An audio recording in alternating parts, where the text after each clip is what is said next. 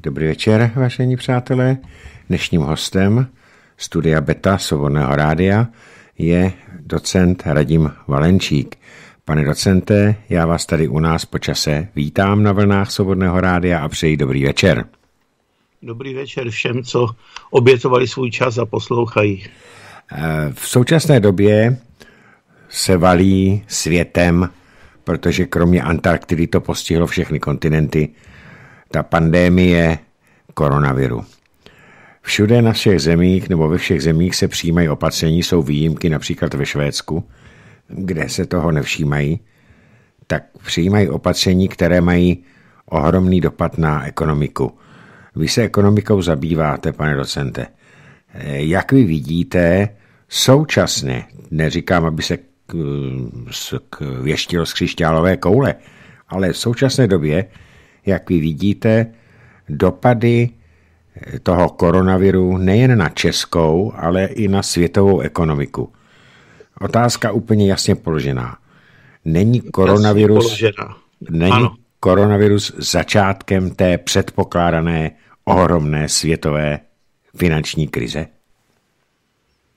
No tak eh, já to vždycky formuluji jinak. Já vždycky říkám, a říkal jsem to už předtím a říkám to i studentům, že nás nepochybně čekají z hlediska ekonomického vývoje výrazné turbulence. Takže teď jsme vletěli do jedných z prvních turbulencí, které budou vyvolány koronavirem.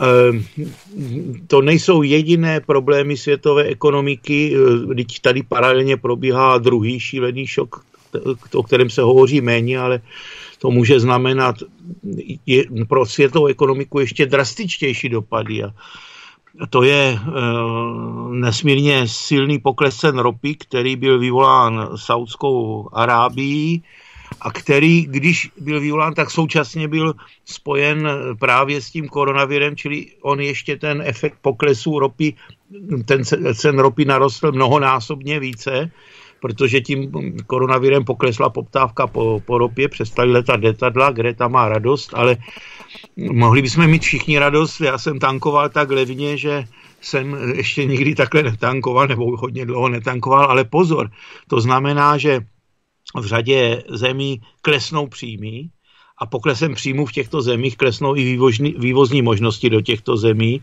takže to může vyvolat zase další turbulence na finančních trzích. Čili není to jenom koronavir a ta ekonomika globální eh, tím, že byla dlouhodobě udržována na práškách, tedy na tom, co se dá, co, co je to, co se slušněji nazývá eh, kvantitativní uvolňování, jo, to znamená čerpání peněz do oběhu, tak je vysoce nestabilní a tudíž na tyhle věci citlivá, takže do turbulenci určitě jdeme. Eh, jak se to projeví, eh, takhle to řeknu.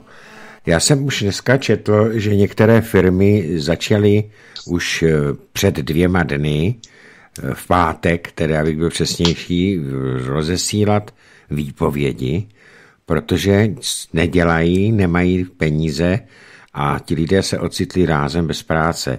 Jaký to bude mít význam na českou ekonomiku, když si uvědomíme třeba, že naprostá většina restauračních zařízení, cestovních kanceláří a vůbec podnikání v cestovním ruku, tak v současné době je na hranici krachu. Jak vy vidíte pro českou ekonomiku eh, vývoj, eh, pokud by se ty opatření vlády prodloužily. Teď to prodloužili do poloviny dubna, ale já se dobávám, že to bude delší. Tak jak to bude dopadat s námi tady v České republice? No vidíte to velmi přesně, jo, to si málo kdo uvědomuje. Teď se hospody zavřely kvůli tomu, aby se nešířil koronavír, pak se otevřou, doufám, budeme sedět dva metry od sebe v té hospodě, budíš, a, ale lidi nebudou mít příjmy, protože jim ty příjmy poklesly, že jo. A to bude horší než, než, než, než ta regulace v důsledku koronaviru. A co s tím? No tak na to je jediné řešení, já tady se přimlouvám, prostě ty peníze do ekonomiky načerpat a to znamená těm lidem, kteří v důsledku koronaviru přijdou o práci, tak normálně dát minimálně 60% jejich mzdy Eh, eh, po nějakou přechodnou dobu. Ta ekonomika potřebuje udržet určitou míru poptávky, jinak se dostane do plochové vývrtky ve smyslu teda toho, když letadlo ztratí vztlak na křídlech. Ona potřebuje určitou poptávku a tu lze zabezpečit. Prostě není pravda, že peníze nejsou. Samozřejmě bude to složitější, je to určitá i globální hra v tom finančním světě, ale pro Českou republiku já vidím reálné napumpovat 200 miliard do té ekonomiky prostě. Vidím to jako reálné. Oni taky přijali poslanci ve sněmovně návrh paní Šilerové, že se eh, teď 200 miliard schodek tady odsouhlasil. Nicméně eh, z čeho a kdo by těm lidem pumpoval, který přijdou o práci, eh, ty peníze? Protože... Já si to pokusím vysvětlit, jo? Tak, ano, ano. To uh, určitě jste zaregistroval a posluchači taky zaregistrovali, že Trump řekl, že dají do americké ekonomiky 2 biliony dolarů. Ano, to jsme zaregistrovali, ano. Tak si to přepočítejme. Koruna je o dost méně než 20 dolarů, ale budíš, kdyby byl dolar za 20 korun, tak oni tam dají stokrát více, než my, když dáme 200 miliard korun. Jo? Mm-hmm. Stokrát víc. A kde oni to vezmou? No oni si ty peníze prostě dneska už se ani netisknou, oni je prostě elektronicky mm. Pošlou kódem do bank. Mm-hmm. Jo, FED to pošle kódem do ano, bank. Ano, ano. Oproti čemu? Oproti nákupu státních dluhopisů. Čili stát si vydá dluhopisy za miliard, 100 miliard, bilion, a FED to nakoupí a tím pádem jsou od, od, od těch bank, které si koupí ty dluhopisy od státu a v tu, v tu chvíli ta ekonomika běží dál.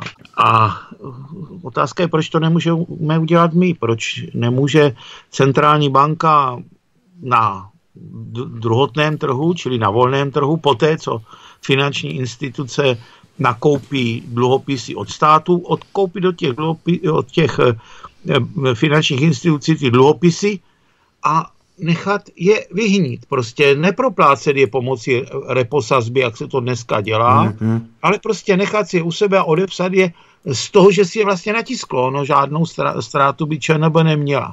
Místo toho, aby kupovala mrtvá eura, která se z těch rezerv centrální banky nikde nedostanou. Čili my bychom mohli udělat aspoň stokrát menší manévr než Spojené státy, to je v tom světě, finančním světě je divná solidarita, že, jo? že nám ne, nedovolí ten finanční svět dělat ani z části hmm, takovou hmm, operaci. Hmm. A peníze na to by byly. Čili já říkám, pokusme se řešit tu otázku monetizací toho dluhu. Eh, to správné nakročení k tomu bylo ta změna zákona o centrální bance, o České národní bance, která šla do parlamentu. Podívejte se, kdo ji zablokoval, kdo znemožnil to, aby, se, aby centrální banka začala nakupovat i dlouhodobé dluhopisy a aby se umožnila, eh, aby nakupovala i dluhopisy od eh, ostatních subjektů, nejenom zahraničních, v podstatě zahraničně ovládaných finančních institucí, tak to zablokovala no, no kdo jiný než naše demokratická opozice a piráti, hmm. aby se to projednávalo v urychleném režimu. Přitom to potřebujeme nutně, protože když neudržíme poptávku, tak teprve začne skutečně velký problém. Já doufám, že Česká národní banka eh, bude v tomto rozumná, bude dělat rozumnou diplomaci i vůči ostatním finančním institucím ve světě a doufám, že náš parlament také bude dostatečně rozumný, aby, aby, aby to, co je nezbytné pro, pro naši záchranu vlastně, aby udělal. A hlavně, že lidé budou sledovat, co se děje a budou dostatečně rozumní, aby na to hlavně vyvinuli tlak, aby se nenechali uh, nachytat na nějaké dílčí eh, problémy, ale aby věděli, o co jde zejména. Čili momentálně potřebujeme hodně peněz, ty peníze jsme schopni získat jednak zvýšením veřejného dluhu a jednak monetizaci veřejného dluhu, což je podle mě ještě důležitější. Akorát musíme mít aspoň desetinu těch podmínek, které mají e, jiné silnější země ve světě. Taky jsem četl, že celá řada firem zkrachuje, protože to nevydrží. Eh, taková podobná krize už tady kdysi byla a hodně dávno v minulosti a Karel IV. nechal stavět eh, hladovou zeď, eh, aby lidi neumírali hlady. To znamená, to byla státní zakázka. Já se ptám, pane docente, pokud by ty firmy opravdu zkrachovaly, jako v celé řadě, jak se to předpovídá, Nebylo by na místě těm nezaměstnaným nabídnout stavbu nějaké hladové zdi ve formě například pomoci v zemědělství, v lesnictví a v takovýchto oborech, které e, trví e, viditelným nedostatkem pracovních sil, že je musíme nakupovat nebo zvát ze zahraničí, například Ukrajince? No, to je, víte, já nemyslím, že potřebujeme stavit ladové zdi, které na nic nejsou. My potřebujeme prostě vybudovat normálně průjezdný ťokův průsmík, že jo? Hmm. I tak, Tady urychlení obnovy dálnic, to je práce většinou na vzduchu, ty kapenky odvává vítr, takže tam to, ta pravděpodobnost nákazy je podstatně menší, ta technika je tam hodně zastoupena, takže se dají volit takové postupy, které vystavují toho zaměstnance řádově menšímu riziku, než když pracuje někde v hale. Eh, obnovu si vyžádají i okresní silnice a plus další. Ale otázka je za prvé, máte tam pravdu, že u nás si lidé dost odvykli dělat tu manuální práci, čili my bychom museli zvát zase Ukrajince, nic proti tomu, eh, protože eh, ti Ukrajinci zase utrácejí tady peníze, tím táhnou tu spotřební poptávku, že jo, to je také důležité. Oni budou třeba chodit do těch hospod a je to dobře, že budou chodit do hospod. Čili já vůbec nejsem proti tomu, aby se to řešilo i zaměstnáváním ze zahraničí. Ale my budeme muset udržet hlavně ty výroby, které, které jsou eh, pro tu sofistikovanější pracovní sílu šity na míru, které vyžadují určitou zručnost, vyžaduje, vyžadují určité rodinné tradice. Jestli jste zaznamenal, tak jak eh, dvojministr místo předseda vlády Havlíček, tak i nejexponovanější ministrině Šilerová tak furt nabádali firmy, ať se snaží udržet za každou cenu eh, ty, ten klíčový kádr zaměstnanců, že jim stát pomůže, protože to je ten potenciál, který musíme udržet. A pokud se týká, abych byl ještě konkrétní, tak já si myslím, že momentálně eh, ta, eh, ta, ta reálná ekonomika je teď v těch, v těch nejlepších rukou. Teď myslím na mysli, teď mám hlavně na mysli dvojministra Havlička, zaplať pámu, že je ministr obou rezortů, jo? Ano, ten se jeví jako jeden z dobrých ministrů, nebo z lepších ministrů. A myslíte si teda, že eh, by ten stát si měl vytvořit, podobně jako to udělali ve Spojených státech, tu virtuální měnu, protože dneska se už jinak Eh, ono se sice říká eh, obrazně, že se tisknou peníze, že už se rotačky rozjíždí, ale ono to je virtuální, tak eh, že by měl těmto podnikům, aby si udrželi opravdu ten střední kádr odborný a vyšší, nadspat tolik peněz, aby je dokázali v podstatě i při zastavení výrobě udržet v zaměstnaneckém poměru třeba za 60% mzdy? Ano, Eh, jo, to, to, to se, co říká Kurzarbeit, se tomu říká. Ano, ano, eh, Kurzarbeit. On, někdy člověk si taky potřebuje odpočnout, já to vidím sám na sobě, jo, já kromě těch eh, negativních dopadů, tak pocituji i jeden, že můžu se s manželkou dvě hodiny projít, skutečně dvě hodiny a tam, kde nikdo nechodí, auto máme u baráku, takže tam riziko jakékoliv nákazy je minimálně i z hlediska opačného, jo? že bychom my někoho ohrožovali. A e, vím, jak je to důležité, když člověk trochu vypadne ze stresu. Práce má víc než dost, protože konzultuji se studenty přes Skype a mm-hmm. podobně. Snažím se vyrobit nějaké rozumné studijní materiály, které by kompenzovaly ten výpadek e, přímého kontaktu ale e, máte, máte pravdu, bude to těžké, ale těch 60% mzdy plus to, že lidé přece jenom si budou moct taky oddychnout, tak ono může do té ekonomiky i vlít určité síly, jo? ale hlavní je, tady zdůrazňuji, nešetřit, nešetřit ani na živnostnicích, ani na e, záchraně menších firm tím, že se jim třeba zadají určité státní zakázky a nešetřit ani na zaměstnancích, které představují ten kmen základní těch, co vytváří ten ekonomický potenciál. E, díky tomu, že tady řádí, řádí ta obluda koronavirus, tak se mnoho lidí dostalo do velmi obtížné situace, když se ty jejich firmy, podniky, ale nejenom výrobní podniky, ale třeba i ajťáci si nemají práci a tak dále, všichni, tak se najednou dostali do problému se splácením hypoték. SPD v parlamentu navrhovalo a neprošlo to, aby byly snížené nebo odepsány částečně eh, ty eh, hypotéční závazky těch lidí s tím, s tím způsobem, že by se třeba na rok přestalo, a teďka ta otázka je, na jak dlouho to je diskutabilní, ale že by se odpustili na určité období překonání této ekonomické krize splátky hypoték tím, že by to v podstatě ty banky, které mají peněz, co si budeme povídat, že by to v podstatě sanovali ze svých rozpočtů. Neprošlo to. Myslíte si, že to je dobře, že to neprošlo? A nebo že to je zase krok proti těm lidem, kteří se ne vlastní vinou dostali do takovéto složité situace? No obecně platí, že eh, jednak kdo rychle dává, dvakrát dává, čili vláda se snaží tady tyhle opatření dělat, pokud vím, tak se snaží odložit splácení úroků.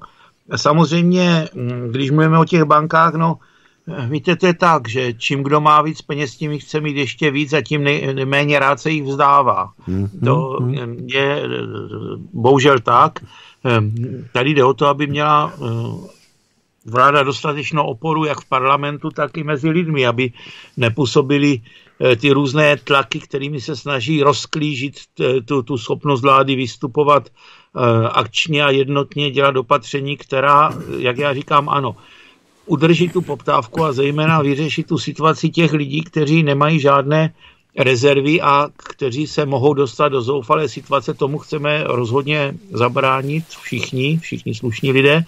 A tady ta pomoc, jak v odkladu splácení dluhů, i když některé domácnosti se zadlužily velmi nezodpovědně, teďka nemám na mysli hypotéky, ale mám na mysli jiné formy dluhu. A jednak eh, eh, no, tady je prostě potřeba pomoc ze strany státu a je potřeba, aby ten stát to měli určitou podporu. Protože čím více udržíme, jak už jsem řekl, tu poptávku, tak tím více eh, se vyhneme tomu riziku, že by ta ekonomika skolabovala, což je nebezpečí, které je také aktuální. Ano, to je také aktuální. A my už jsme to zažili, nebo my, kdo si to, se o to zajímáme a pamatujeme si, tak toto zažívalo v roce 2008-2009 Řecko a díky tomu, že Evropská unie mu nejenom nepomohla, ještě ho potopila, tak Řecko se raketovým způsobem šíleně zadlužilo a ještě přišlo o nejvýznamnější, nejlukrativnější přístavy a ostrovy. Takže tak to působila Evropská unie. Zeptám se, vy se tady říká, že musíme vládu podpořit. Samozřejmě, když do lodi teče, tak se nemá e, připravovat spoura, ale všichni mají jít k pumpám. A co říkáte na to, že jsem dneska četl, že pan Kalousek prohlásil, že má doma tři, tři zbraně a že už se připravuje na ozbrojené, pře, ozbrojené převzetí moci. Takže ta demokratická, jak se ráda nazývá, opozice, tak e, ta tu vládu, ať už je to Kalousek, Fiala a další, teda Petr Fiala, e, tu vládu o Piráti taky okopávají. Eh, jak se na tohle to díváte vy, jako, jako rozumný, slušný a přemýšlivý člověk analytickým mozkem? Mě ten výrok překvapil a řekl jsem si pro sebe, že se má pít s mírou. E, teda nemyslím s mírou Kalouskem, ale že se má pít s mírou jako přiměřeně, jo? protože ano, ano. jinak si to nedovedu vysvětlit, ale zase člověk, který si neumí ani na podesáté nasadit roušku na obličej, jak předvedl tu klauniádu v televizi, v událostech a komentářích, tak já myslím, že nebude zas tak skvělý střelec. že by se asi netrefil.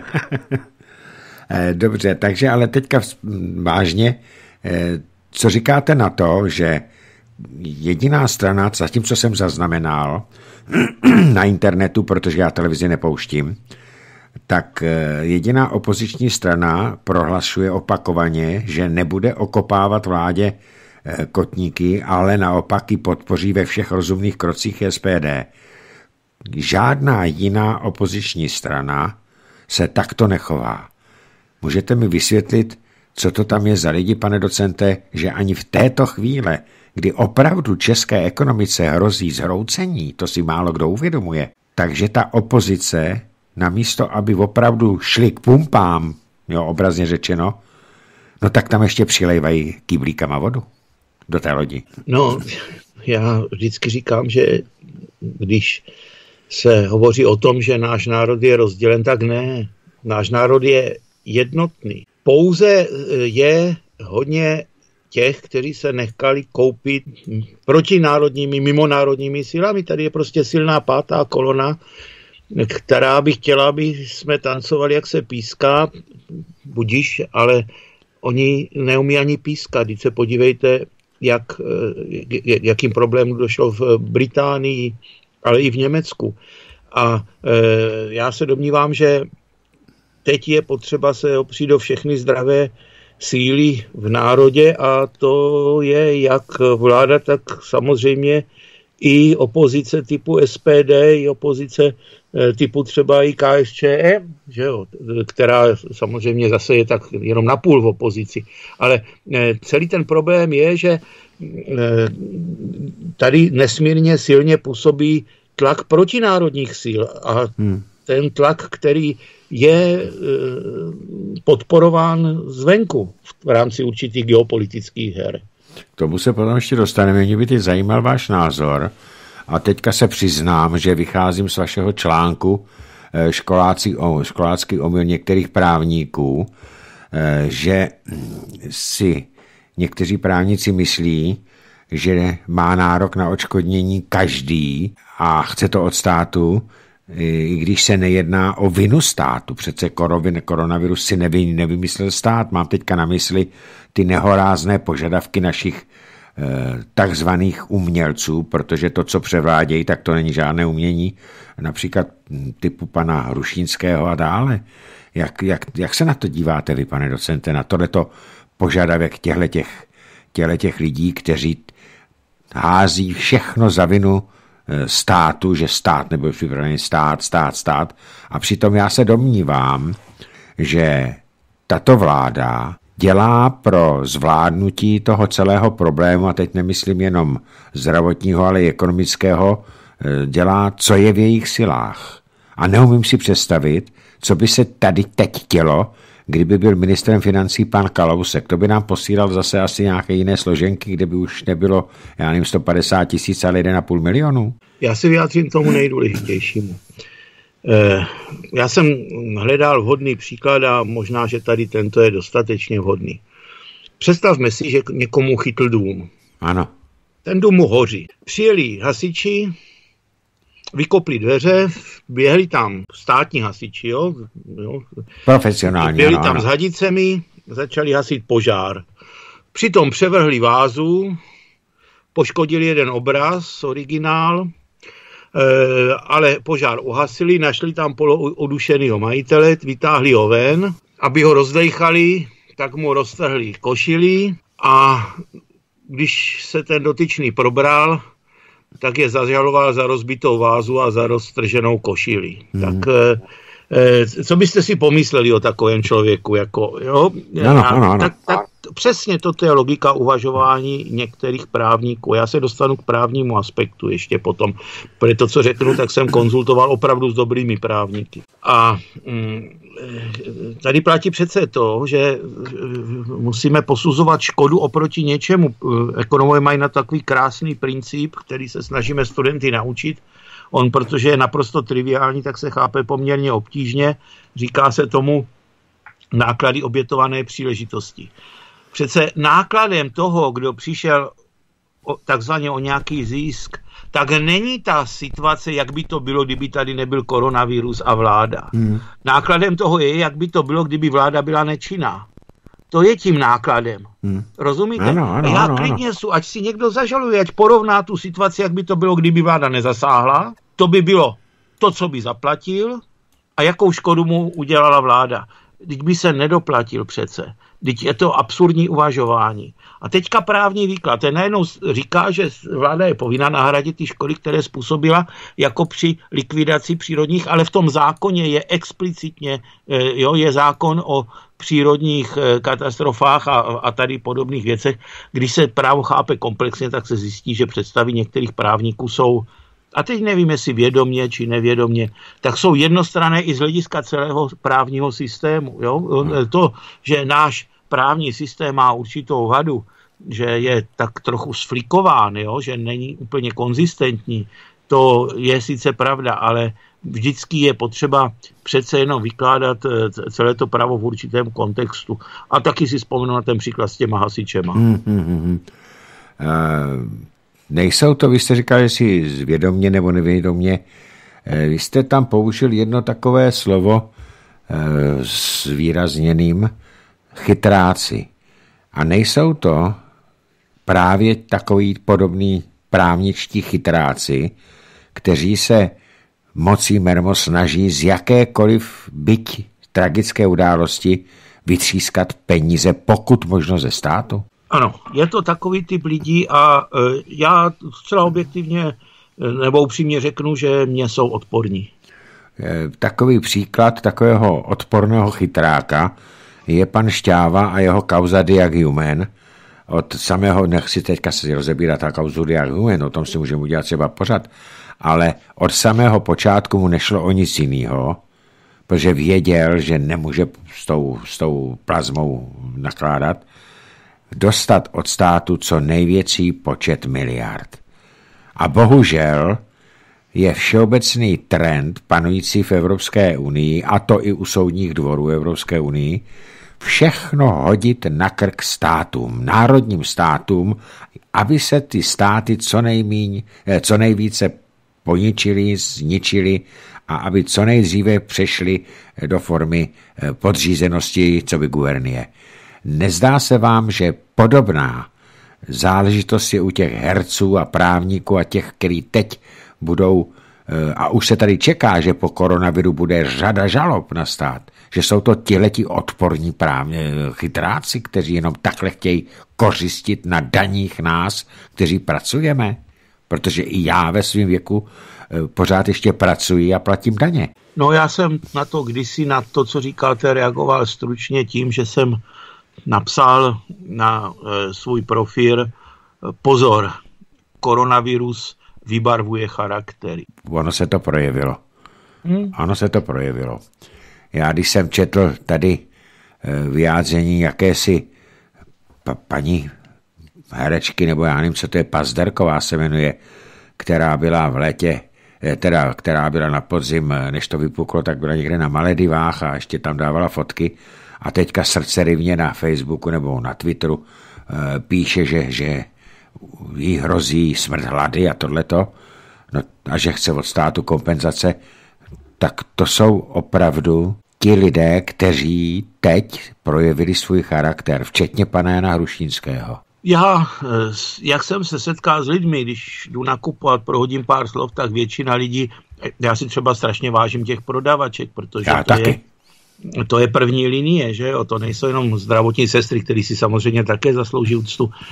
A ti lidé se chovají nesmírně eh, slušně, klidně. Já jsem byl překvapen. Jo? Jako to je něco, co mě určitým způsobem uklidňuje, že ti obyčejní lidi e, nepanikaří, chovají se vůči sobě e, vstřícně a solidárně a já si myslím, že nakonec ti lidi vyhrajou. No, já si to myslím taky, protože e, nakonec jsme to, pane docente, viděli, že to zdravý, rozumný jádro s půdem sebezáchovy v tomhle národě je při dvou přímých volbách prezidenta republiky. Tak tam se to jasně projevil, tenhle ten dobrý duch tohohle toho národa. A když se podíváme na to, jak na rozdíl od západních států e, jsou naši lidé, říkám, neříkám naprosto všichni, ale zdrtivé většině jsou naprosto, e, řekl bych, e, disciplinovaní, tak to člověka potěší, to je pravda. Ale na druhou stranu máme tady snahy o to, aby s nám tady to jak si rozbili. Teďka mluvím... Jenom k tomuto, jo, než, ano, než ano. těm snám jak rozbit, tak e, přece výzkum, který byl proveden na poměrně velkém vzorku, jak eh, lidé chápou opatření vlády, tak přinesl úplně šokující výsledek, že 90% lidí to podporuje. To byl, byli v toho v šoku eh, mediální mainstream, takže to zmíníme pouze okrajově. Mm, jo? Mm, mm, pouze ně, ně, některé zaznamenali, eh, a, a, eh, no, normálně by se tady tohle muselo přece komentovat mnohem významněji. Ale když se podíváte, co dělá mediální, mediální mainstream, zase na čele s českou televizí, jak jinak, teď oni využívají každou příležitost, přitáhnou tam kde jakýho e, e, neznáka, jenom proto, aby okopávali vládu. On tam říká nesmysly. On říká, teď jsem tam poslouchal, jo, například e, nějaký velký vědec e, tam e, říkal, že by bylo dobré udělat několik tisíc testů čistě statistickým výběrem, aby se zjistilo, jak je ten koronavirus rozložen. No to znamená nelokalizovat ohniska, jo, v, to, v tom, kde každý ten test musí být cíleně měřený. A on říkal, že to je chyba vlády, protože by třeba už mohla zrušit karanténu. A, ale to, to je snaha využít skutečně jakkoliv, a teď už nevím, jestli je ten člověk hloupý nebo zaprodaný, přitáhnout do, to, do televize a vymáčknout z něho něco, co se dá obrátit proti vládě. Ano, Já to považuji za naprosto perverzní a jestli něco selhává, tak česká televize naplní ty ani nemá koule. Ale pane docente, ona neselhává jenom česká televize, ta selhává už řadu let. Ale tady se jasně ukázalo, ukázalo na, na pandemii koronaviru to, co třeba Svobodné rádio tvrdí už eh, od samého vzniku, a ještě předtím jsme to tvrdili, a co já říkám od roku 2004, když jsem mm, eh, brojil proti vstupu do Evropské unii, teda 2003, že naprosto, ale naprosto selhala Evropská unie. Evropská unie nevydala jedno jediné opatření, které by mělo smysl, zkrátka mlčí, kecají si své nesmysle pořád dokola a tady se jasně ukázalo, a to je moje otázka na vás, co tomu říkáte, tady se jasně ukázalo, že nějaký nově budovaný Eurosajus paní Merklovou a Šlejnovou a já nevím těma dalšíma, Timmermansem. Takže tady selhává a že jediný, kdo racionálně bojuje, tak jsou národní státy. Nemyslíte si to taky, nebo jak to vidíte vy, pane docente? Tak já nevím, jestli, jestli, jestli ještě nějaká Evropská unie existuje. Eh, já jsem myslel, že skončila ve chvíli, když eh, paní Lejno, eh, Lejenová, nebo jak... Já ji říkám Lejnová po vzoru pana Petra Hajka. No, to já jsem se spíš přeřekl, tak, tak když ona řekla, a to mě, prostě tady jsem si říkal, že to snad není možné, jsem se musel štípnout, si náhodou nespím, tak ona říká, no, my jsme s těmi opatřeními tak trochu zaváhali, ale my za to nemůžeme, teď my přece nejsme žádní odborníci. Ano. Toto řekla, toto řekne vrcholný představitel Evropské unie. Já jsem si vždycky myslel, že když někdo nese zodpovědnost za rozhodování o osudech národů a lidí, takže první, když se něco děje, tak se obklopí odborníkama, že má jednak při sobě permanentně a když se děje něco mimořádného, tak, se, tak posílí ty odborníky, které má, o ty, které jsou odborníky na tu danou oblast. A jestli mu řekne, no, já jsem blbě rozhodl, ale to, ale to je proto, že nejsou žádný odborník, tak já si myslím, že že, že, že, že no to je něco, to, to je úplně mimo rámce mojej představivosti. Hmm, hmm, ano. No? Myslím, že... Ale my budeme okopávat naši vládu, která se odborníky obklopila, ti odborníci jsou schopni argumentovat, jsou schopni přijímat opatření, jsou schopni to zvládat online, dokonce eh, ti, kteří by je rádi kritizovali, tak dopředu jim nedokážou nic říct, co by měli dělat, ale potom se řídí k tou známou zásadou, že po bitvě je každý fighter chytřejší než generál, mm. ale oni jsou ještě ani ne tak chytří jako ten fighter, protože kritizují vládu eh, i zpětně za úplný blbosti. Jo? A já si myslím, že mm, určitý, určitá úroveň racionality, kterou si ta vláda uchovala naše, na rozdíl od jiných e, struktur, když to řeknu takhle, e, jsme to zvládli a také budeme muset k sobě hledat cestu, aby jsme právě země, které které jsou bezohledně okrádány jo, těmi silnějšími v této situaci, tak aby více spolupracovali, nedělali si iluze, že jim někdo pomůže a pomohli si svoji vzájemnou spolupráci. Myslím tím myslím tím eh, Maďarsko, Slovensko, Polsko, možná Bavorsko, Německo, eh, teda Rakousko, prostě tyto země se, se musí spolu naučit více spolupracovat a čelit, čelit to, té snaze, aby někdo řešil svoje neumětelství a někdy zlou vůli na úkor těch, kteří, o kterých si myslí, že jsou slabší. V podstatě já bych těm zemím po posledních vyjádřeních ku podivu i socialistického eh, premiéra Conteho vůči Evropské unie, který, unii, který prohlásil, že to je taková vycpanina, tak bych přiřadil i Itálii. A teď se zeptám, co říkáte eh, na to?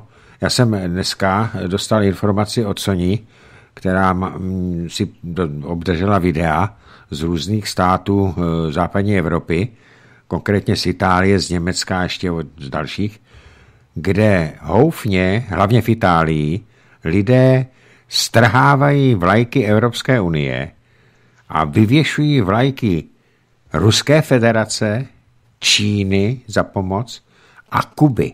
Konkrétně do Itálie přijelo 52 eh, skvělých odborníků, kubánských epidemiologů a zdravotního personálu, kteří se zdárně vyrovnali v Africe s ebolou.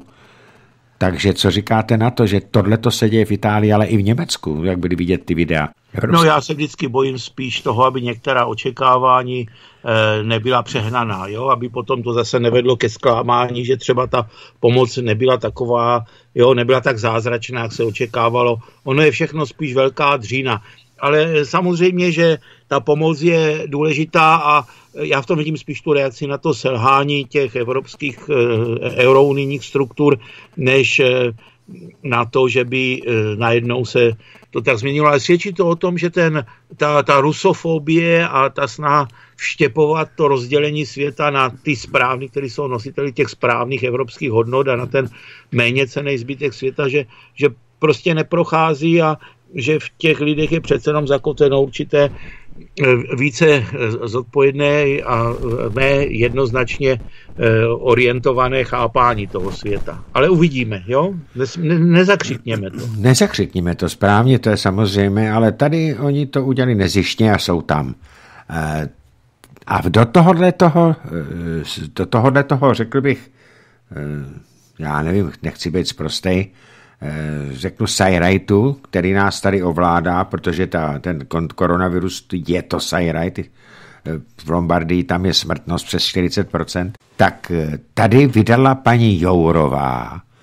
Mimochodem, to naši posluchači možná nevědí, ale když byl premiérem, vy mi to jistě potvrzíte, Jiří Paroubek, tak paní Jourovou vyhodil z úřadu pro neschopnost. A tato dáma teď má v Evropě hlavní slovo v boji proti, proti řekl bych, eh, fejkům a desinformacím a tak dále. A teď v době, kdyby Evropská unie na místo takových blbostí měla pracovat pro záchranu lidských životů, tak ona si vydá 5,1 a teďka nevím, jestli milionů nebo miliardy, to, to, to, to si, milionů eur, uvolnila 5,1 milionu eur na podporu nezávislých médií, která mohou vyvracet ruské a čínské a další dezinformace. Pane docente, my jsme v těch různých sluníčkářských od pana pornoherce Jandy a pana já, já nevím, jak on se ten novodobý analytik, dneska je každý analytik, i když to nikdy neštudoval, tak eh, my jsme taky nazývaný, že jsme pro ruský rádio. A my, já nechápu, proč bychom byli pro ruský, my se snažíme říkat objektivní pravdu. Ale co říkáte na to, že se vyčlení 5,1 milionu eur na podporu nezávislých médií. Jak tomu mám rozumět, pane docente, nezávislých médií? My jsme nezávislí, nás nikdo neplatí. Nás platí naši posluchači, abychom měli peníze na vysílání, na provoz. Ale jak to chápete, tohle ten nesmysl od paní Jovorové? No, já, mě to eh, tak, eh, jak se to řekne slušně, vzrušilo negativně, že jsem k tomu napsal poměrně obsáhlý rozbor, nazval jsem ho, myslím, Jourová k financování práskačů typu Pepka Vyskoče. Ano, ano, ano. A e, na svůj blog. Doporučuji všem, aby si to přečetli, najdou ho snadno a e, myslím si, že ten rozbor nebyl špatně udělaný, ale já jenom uvedu, co se chápe pod tím v jednom z těch materiálů, které, které spadají do těch, co mají vyvracet ty dezinformace, tak co se pod tím chápe. A dovolím si to přečíst. Ano, dovolte, dovolte. Napsali, Eh, co napsali, eh, myslím, že to jmenuje Hlídací pes, to je jedno z těch médií, které má být financováno těmi miliony. Tak hlavní dezinformační teze jsou podle nich, že epidemie má údajně spojitost s potřebou elit, elit na přeformování světa. Tak i kdyby to někdo řekl, jednak jsou to spekulace, které jsou i na západě šířeny, jo? to není jenom, že by se to šířilo z východu. Jednak e, jsou to i ti, kteří si oslibovali, jo? jsou analýzy skutečně, které byly dělány, jak by mohli třeba posíl, uchovat svoje souč, současné elity, své postavení a případně posílit, kdyby k tomu došlo. Ale to není dezinformace, to je prostě spekulace, na kterou má každý právo. Ale hned další bod, no ten je úplně pozoruhodný, že EU je nečinná. No EU je nečinná, to přece není ruská dezinformace, no to je elementární fakt. Ano. A na to se, a jak to chcou vyvracet? A na to se dávají peníze? Nebo že, e, že e, existuje, že se rozšiřují spekulace o tom, že e, šíření COVID-19 je spojeno s migrací. No tak samozřejmě, že je spojeno s migrací. Proto se musel zastavit pohyb přes hranice. A pokud vím, tak některé země mají e, určité problémy s disciplinovaností e, právě e, migrantům z hlediska dodržování těch zásad, které můžou omezit šíření koronaviru. Když to přece není ruský výmysl. Navíc ho nikdo ani přes Rusko nešíří. A e, takovéto magořiny jedna za druhou, jo, dokonce, že jsou tady spekulace se zaváděním 5G sítí. No a to by byla proto e, protičínská spekulace spíš, jo, než jakákoliv jiná. Ale chci tím jenom říct, že když se tak člověk podívá na ten způsob té argumentace, eh, tak já jsem pak v závěru napsal, že vůbec nejde o to eh, financovat eh, nějaké vyvracení něčeho, to je nesmysl, ale že jde spíše o financování obyčejných práskačů, kteří mají donášet na lidi používající vlastní rozum. Ano, financování práskačů, kteří mají donášet na lidi, kteří používají vlastní rozum. Ale aby to mělo ten optimističtější závěr, jsou to podle úrovně té argumentace opravdu na úrovni Pepy výskoče. A e, jestli je nějaká prohonilost institucionálního systému, tak toho, kdo tady tohle financuje. A navíc, jenom připomenu, ona, onen hlídací pes, tak díky zjištění e, Xavera Veselého, tak se jedná o jednoho člověka, jehož hlídací pes, který oplývá dotovanými penězi ve částkách, o jakých se nám nesní, tak jehož sídlo je v nějaké polorozpadlé e, nějaké zahradní chatě někde v nějaké chatové nebo zahradní kolonii, tak tento hlídací pes dostane od paní Jourové e, spoustu peněz na to, aby tady čtil Eh, oheň a síru a plynoval jedovaté sliny na ty, kteří se snaží, snaží hledat a říkat pravdu. Tak těmto lidem, pane docente, chce paní Jourová dávat peníze? No, jestli je to jeden člověk, tak je poměrně výkonný, to zase se musí uznat, akorát nechápu, proč si našli zrovna takový oblebce teda. Ehm, to nevím, ale takhle ta hlídací pes jako firma je psaná na jednoho člověka.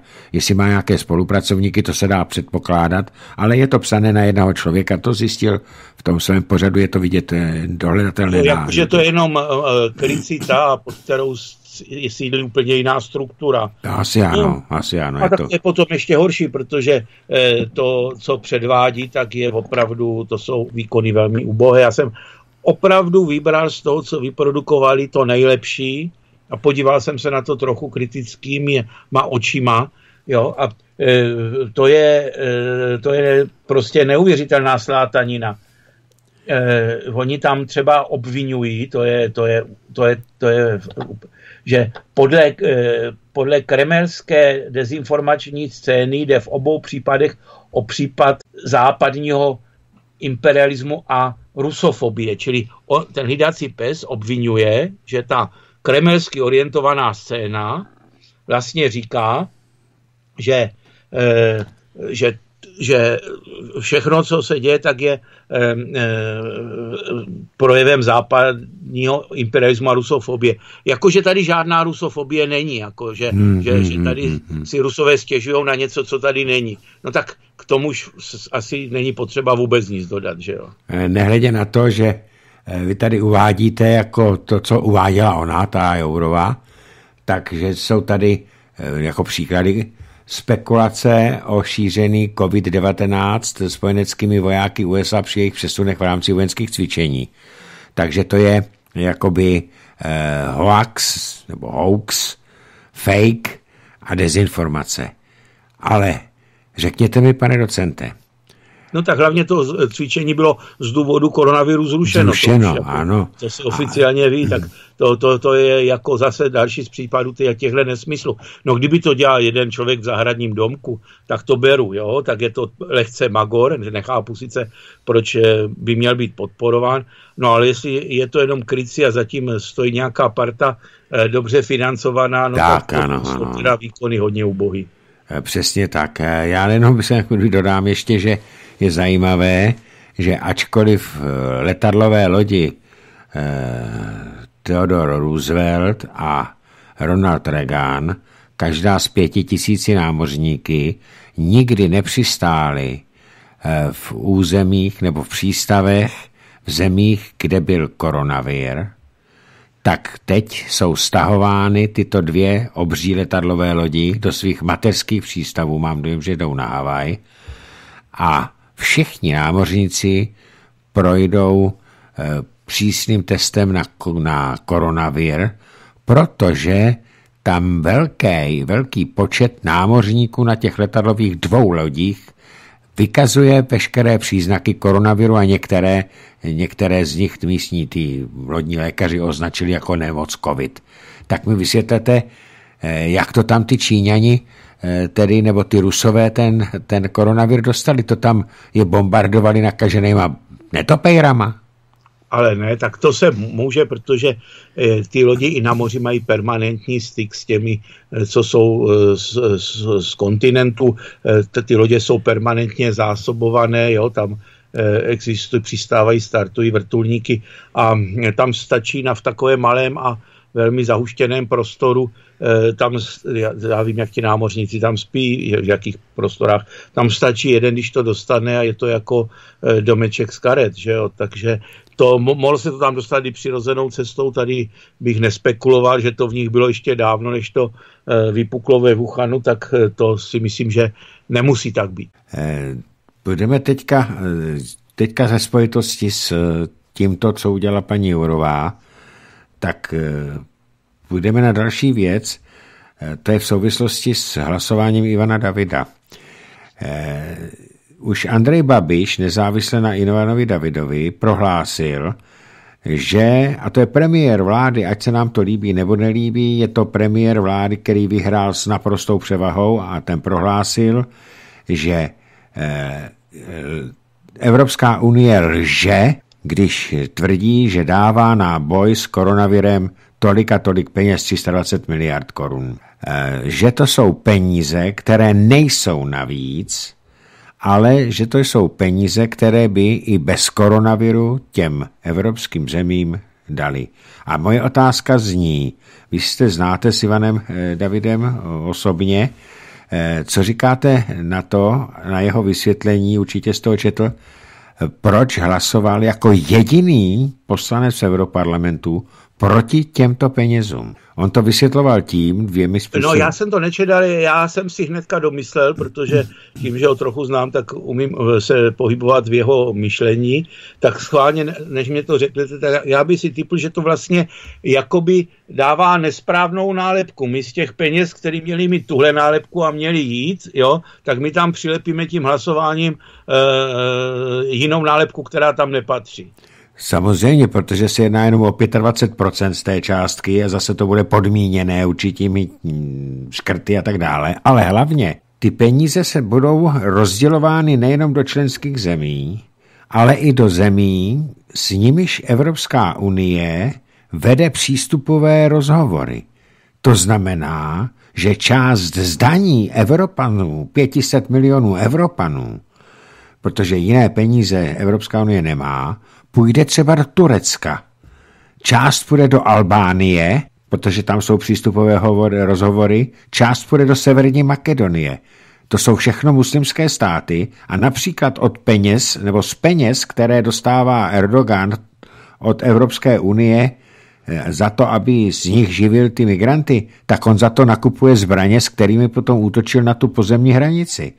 Do Albánie posílá 30 až 50 tisíc džihadistů, aby vytlačili eh, ještě ten zbytek těch eh, pravoslavných Srbů a řeků, kteří tam v té Albánii jsou, aby tam v podstatě udělali, udělali čistě eh, fundamentálně muslimské, muslimský stát a ten jejich předseda vlády kvůli tomu vyhlásil válečný stav. Tak proto Ivan David hlasoval proti tomu, aspoň takhle to tam psal. Tak jak, jak se na to díváte vy? Já se divím, že byl jediný tedy, který proti tomu hlasoval. Já bych, kdybych no, tam byl, tak bych... Protože ostatní si možná mysleli, že eh, ten mediální mainstream ho z něho udělá černou ovci a že on nebude moct rozšířit tu informaci, jak to skutečně bylo a že ho utlučou. No, tak eh, je statečný, že se k tomu takto postaví a je jenom dobře, že část veřejnosti eh, bude mít možnost eh, dříve nebo později zjistit, jak to bylo. Přesně tak. A teďka poslední téma před přestávkou, pane docente. Vy jste tady řekl eh, otázku takovou řečnickou a akademickou, konec konců jste akademik. Ona ještě Evropská unie existuje. Já se ptám, myslíte si, že bylo by to logické, ale že opravdu neschopnost zvládnout cokoliv i v oblasti toho, té pandemie, takže to je, začíná zvonit hrana pro Evropskou unii, anebo, že jakmile se to překoná, takže ona ty šrouby začne utahovat ještě mnohem a mnohem víc, aby si tu pozici upevnila. Jak to vidíte vy? Tu budoucnost Evropské unie. Já bych si moc přál, aby šla do kopru. Uh, já si myslím, že tady je na místě ten Eh, ten židovský příklad toho rabína hocha s ptáčkem, že jo. Jak přijde ten hošik za tím rabínem a má v ruce toho ptáčka a říká, rabi, je ten ptáček jo. živej nebo mrtvý? A jasný je, o co mu jde, že ano, když rabi řekne živej, tak ho zmáčkne a bude mrtvý. Řekneš, že je mrtvý, tak, tak ho nechá živýho. Rabín samozřejmě není žádný blbec, protože od toho je to rabi, že jo. A říká, záleží na tobě. A já bych na to odpověděl stejnou otázkou ve vztahu k těm normálním lidem, kteří jsou základní oporou toho, co umožní přežití naší civilizace, když se hajávají elity. Jestli se ptají, jestli eh, natolik oslabí tou svojí ztrátou autority i tváře eh, ta institucionální i personální reprezentace Evropské unie, že bude muset dojít ke změnám k lepšímu a k vytváření soužití a sounáležitosti a solidarity těch eh, evropských států na trošku modifikovaném základě třeba i reformou té EU.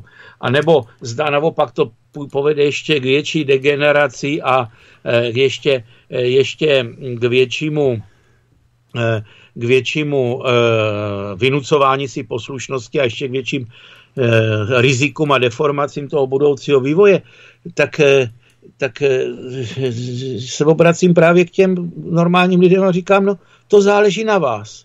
To záleží na vás, jak se tomu dokážete bránit. Vždycky to záleží na nás. Co říkáte na to, že pan dosud neviditelný ministr obrany, který tvrdě hájí zbytečné a předražené nákupy za 14,5 miliardy v době, kdy bude mít stát ohromné náklady kvůli koronaviru, eh, nákupy vrtulníků zbytečných, tak ten přišel s tím, že by se měl tady udělat nejenom eh, stav nouze, ale výjimečný stav a předat, předat veškerou moc do eh, rukou vlády, tedy premiéra, s tím, že by se utlumila činnost eh, parlamentu. A na druhou stranu, když toto udělali Maďaři, tak už německý tisk psal jako šílený, že Maďarsko se tím vyčlenilo z Evropy, že už to není Evropa, protože tam už mají totalitní systém, jako kdyby eh, ta německá vláda nevládla totalitně, když tam za názor zavírá na tvrdo. Jak na to se díváte eh, na návrh, eh, za prvé na návrh pana Metnara, aby se eliminoval parlament a na postoj právě Maďarská, když si to ten parlament odhlasoval, teda tu, aby tam nemuseli se dlouho, takže vládne prezident, premiér Orbán vládne pomocí dekretů a podepsal ten zákon i prezident Arpád. No, pokud se týká pana uh, Metnara, mě to překvapilo. Nedovedu si to vysvětlit jinak, než jako určitý úlet. Větší logiku v tom nevidím, ale akorát nevím, jestli to bylo, uh, protože se chtěl podbízet Babišovi a neuvědomil si, uh, jakou to bude mít reakci, anebo jestli to bylo vědomé podkopnutí, jestli nechtěl Babišovi namídlit schody. Uh, nedokážu to posoudit, rozumíte? Hmm, protože hmm, hmm. první se mně zdá, že přece není tak hloupý a to druhý se mně zdá, že není přece tak podlej. Hmm. Ale opravdu jsem si to nedokázal vysvětlit. Já jsem ho považoval spíš za toho, um, bych řekl, přijatelnějšího z ministru. A toto mě teda nepříjemně překvapilo, nikdo nejsme dokonali. Uh, pokud se týká Orbána, tak je to tak trochu hra bank. Já myslím, že opozice je natolik silná, že to nemusel až takto vyhrotit. Na druhé straně, uh, jestli si tu situaci vyhodnotil, tak, tak, uh, tak zejména, jak někdo napsal na, na Facebooku, zejména Německo by nemělo v těchto věcech kádrovat. Přesně tak, zejména Německo určitě ne. No mě to taky překvapilo u toho Maďarska z jednoho, tak u Metnara úplně, stejně jako vás, ale u Maďarska, protože Orbánova strana má v parlamentu většinu, takže eh, tam nehrozilo nějaké protahování eh, nějakých rychlých rozhodnutí, eh, přijímání, tak jako díky naší debil opozici to hrozí u nás v parlamentu, tak co mě to překvapilo. Asi si to tak... vám tam někdo možná zvoní. Jinak eh, měli bychom se ještě dostat taky k Německu a rouškám, protože eh, jestli něco vypovídá o situaci v Německu, tak je to, že eh, prostě se chovají velmi nezodpovědně a dělají si dokonce z našich občanů, kteří tam pracují, tak si dělají legraci, že nosí roušky, nebo jim to dokonce zakazují. To já považuji za velmi nebezpečné. A jo? o tom se, a... pane docente, budeme bavit po přestávce protože my jsme právě dorazili k 20. hodině a my si pustíme teďka, si odpočine čtvrt hodinky a po přestávce se k tomuto tématu Německu vrátíme, ano? Určitě, těším se. Takže poslechněte si pár písniček. A je po přestávce a já volám docenta Radima Valenčíka. Slyšíme se? No já poslouchali ty písničky, jako jak prvního toho Ortela i posledního Černocha, jinak ty dvě písničky jsou si hrozně podobný jsou. Eh, jinak toho Karla Černocha, mi se ta písnička hodně líbí, to je z Liry, eh, která se nesměla potom zpívat. Taky no, pustí... tomu nesměl ani on zpívat. A ani on, ano, takže... Přitom ona je nád... No jako Orter, to je normalizační režim, který Černocha za tuhle nádhernou písničku v podstatě odstavil, tak něco podobného, pokud se týká Ortela a té jeho fantastické písničky. Přesně tak a já jenom našim posluchačům můžu slíbit, že eh, Karla Černochá tu píseň o mé zemi zahraju po skončení toho dnešního pořadu. Ale my se vrátíme, pane docente, k tomu Německu. Eh, my máme, já jsem tady měl v pátek eh, Zdenka Chytru, teda po Skypeu, který přesně říkal to, o čem se budeme bavit. Tak jaké máte vy poznatky z Německa a s chováním lidí v Německu při koronaviru? No, mně se několika cest, jednak oni tam nemají povinnost nosit roušku, ale to není všechno. Mně se několika cestami dostalo, a to dokonce, že e, třeba i u toho ten člověk plakal, že si z něho dělají Němci legraci a že mu dokonce to v práci zakazují a říká pro boha, e, neudělejte tuhle chybu. E, já se svým způsobem obávám toho, co se v, sou, v Německu děje, je to náš velký soused a není v našem zájmu rozhodně to, aby tam eh, došlo k ještě větším problémům, než, než tam jsou. Oni spolehají na své silné zdravotnické zázemí, na eh, peníze, které mohou do kritických situací vložit, ale já se obávám, že tam ten vývoj není úplně ideální a nechci argumentovat tím, že ministr Bavorský spáchá sebevraždu hmm. s obavou z koronaviru. Mě to připomnělo to, jako když americký ministr obrany, který se vystrašil sám svou protiruskou propagandou, vyskočil z okna a zabil se, že jo, v 50. Hmm. letech, jestli si ano. pamatujete tu historii. Ano, pamatuju. To, to jako tady se nabízejí ty analogie, jak s tou Černochovou písničkou Ortelovou, tak i tady tyhle, eh, jak říkal, jo, to říkal Marx vlastně, že, jo, že historie, takhle, on říkal, že Hegel říkal, že historie se opakuje dvakrát a Marx tomu dodává, že zapomněl dodat, že poprvé jako tragédie, po druhé jako fraška. fraška. My jsme svým způsobem něco eh, podobného zvykli. Takže to je, eh, tak teď je spor o těch rouškách, no co na nějaké VHO, nějaký úředník, to nebylo stanovisko VHO jako, eh, jako instituce nebo nějakého orgánu, který by rozhodoval, tam prostě úředník napsal dopis nám. Eh, teď nedokážu posoudit za prvé, proč to dělal a proč si to nenechá aspoň posvětit příslušným orgánem. Hmm. A my, my se z toho můžeme sesrat, že, že, eh, že bychom neměli nosit roušky. Eh, to je to, co jsem říkal, že si teďka pokusí někteří, když uvidí, že se nám daří ten problém řešit, tak se pokusí na, na nás přes ty páté kolony zautočit a nebudeme to mít jednoduché. Samozřejmě, že rouška má obrovský význam, protože když normálně mluvíte, tak eh, kdybyste se proti světlu se někdo díval, tak opravdu metr až metr eh, a půl od vás jdou kapenky. Ty jsou vidět i běžným okem, jo, kdo má dobrý oči. Když to, když si dáte roušku, tak ona udělá dvě věci. Za prvé, 60% těch kapenek i více zachytí a za druhé, ona neumožní, aby ty kapenky šly přímo od vás, ona eh, je převede do turbulence, ne do laminárního, ale do turbulentního proudění, takže oni se pohybují 30 cm kolem vaší hlavy. Jo?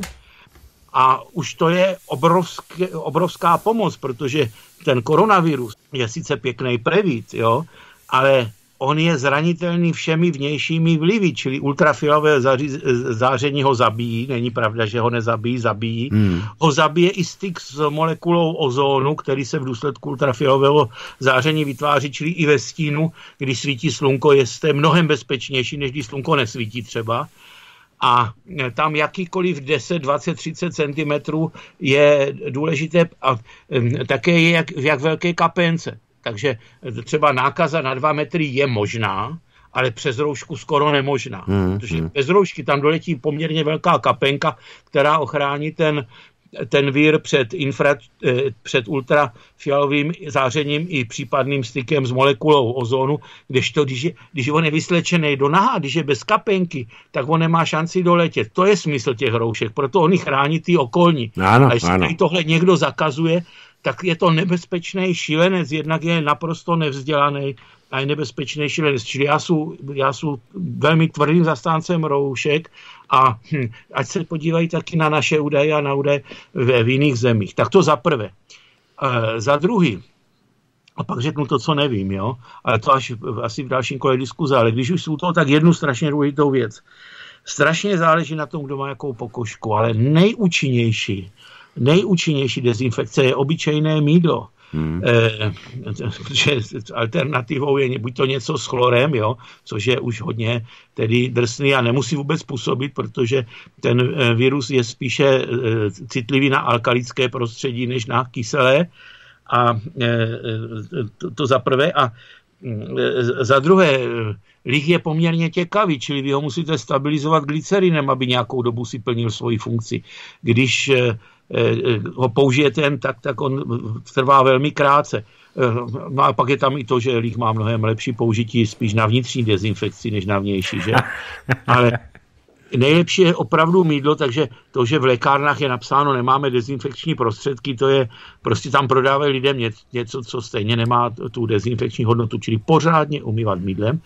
A ještě jednu věc, proto to říkám, proto jsem se u toho zastavil ti, co jejichž pokožka to snese, já vím, že třeba spousta mých nejbližších známých, jo, včetně manželky, tak by to ne, ne, ne Ale já, když si umiju ruce dvakrát mídlem, tak pak ještě vezmu mídlo do ruky, jako ještě, ale na sucho si ty ruce udělám si tam takovou tu mazlavou vrstvu a tu potom vytřu teprve ručníkem, aby mě zůstal mídlový film na ruku. Mm, mm, mm. Prostě to štěstí, že mě to nerozežere ty ruce, jo? že já vůbec to necítím na té pokožce, mě nevysychá pokožka, možná, že jsou z nějakého jiného materiálu, ale no.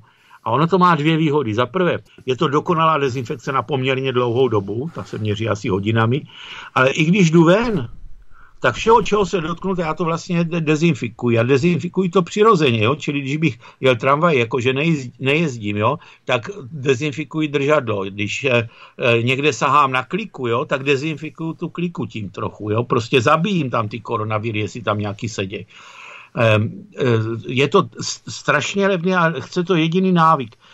Nebát se, když si umýváte ruce, potom ještě jednou vzít to mydlo do ruky, ruce jakoby si na sucho promnout a otřít si ročníkem. Když vám začne červenat pokožka, začnete mít jakýkoliv problémy, opustit do tohoto. Hmm. Ale když ne, tak věřte tomu, že toto je nejskvělejší dezinfekce. Poslední věc, než dáme prostor našim posluchačům.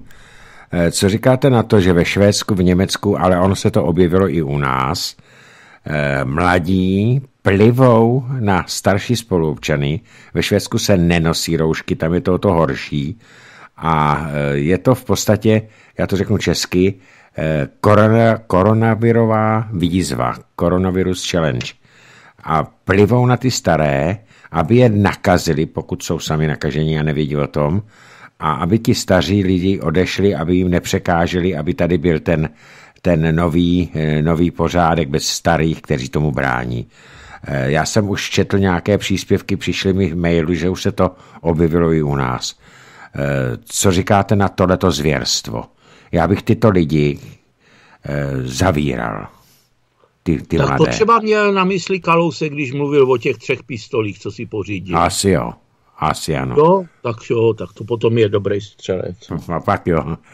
Tak eh, jdeme na otázky a vy můžete, vážení přátelé, eh, volat, protože je zapnutý telefonní přístroj.